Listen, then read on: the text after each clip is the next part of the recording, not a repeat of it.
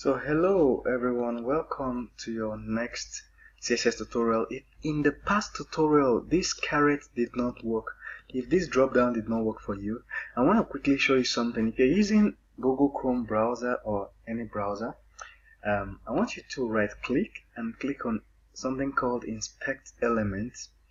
and when you click on the inspect element you will notice something um, there will be this pull something that will pull down from the bottom or to the to the left right of your screen depending on which um, the settings of your screen.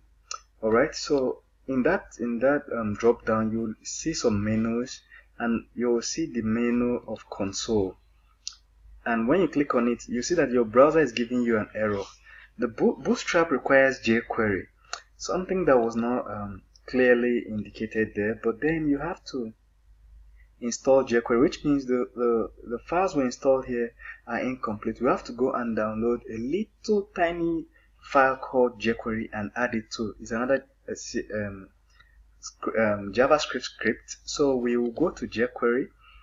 Just visit jQuery.com, click on download, jQuery.com, then or just slash download and um, get a copy of jQuery. As you can see, just the way we installed Bootstrap, we can choose to download a copy. Look at how to download. I'll just right click open a new tab. Then um, as you can see there's a whole lot of jargon. This is the jargon we need. So I'll right click and say a copy or select or well unfortunately it's not showing. So I'll use the control on my keyboard and uh, select everything. The control I'm going to use is control A. Control A that's it. Another way to download this is to to right click and see save link as. Okay if we are going to save link as then we will simply navigate to our our desktop and uh, find our folder and uh, find our javascript folder. It's a javascript file as you can see.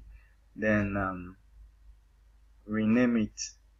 I want to rename it to something simple. I can just say jQuery jQuery.min so then I'll save I'll hit on the save um, button.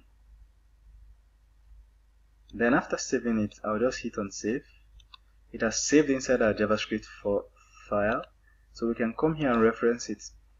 So um, make sure it is referenced before your bootstrap.min.js before. So I'll duplicate this line and say hey make sure you reference jQuery.min so that jQuery is now referenced. So the next thing we will do is to minimize and go back to our page and check. Remember here it is telling us that hey there's an error. Bootstrap javascript requires jQuery. So we refresh and um, that error is gone. And when we click it drops down so if yours didn't work before, this is the reason uh, why it didn't work and um, I would like to see you in the next tutorial and uh, so that we can continue having fun. There is nothing else to add to Bootstrap. Thank you very much. See you in the next tutorial.